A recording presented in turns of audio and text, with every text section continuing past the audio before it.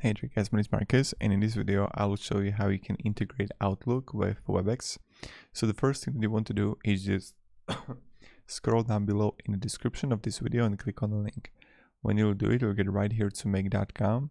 Make.com is an amazing company that is going to help you integrate various applications and one of them is Outlook with WebEx. So when you're going to connect and log in to make.com, uh, you're going to be under team in scenarios. You want to click on a scenario and then go to top right and click create a new scenario. Then you would click plus here and in the search you want to add WebEx. And you can have Cisco WebEx WebEx meetings.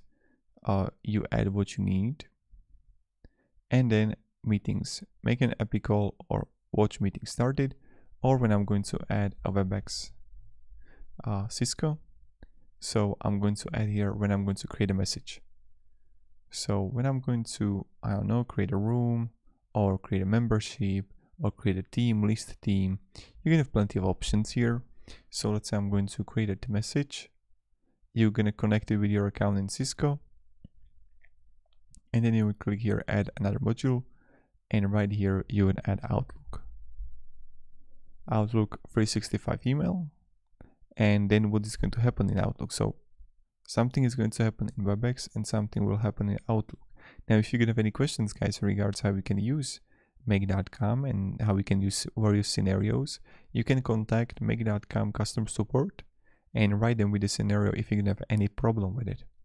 So here I'm going to, let's say, create and send a message.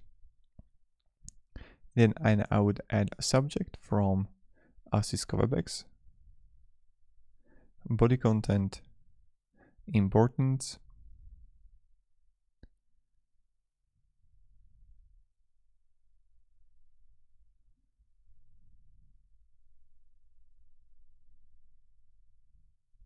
and that's how pretty much you do it, right? So if you can have any questions, guys, ask me down in the comments. And have a great day and goodbye. See ya.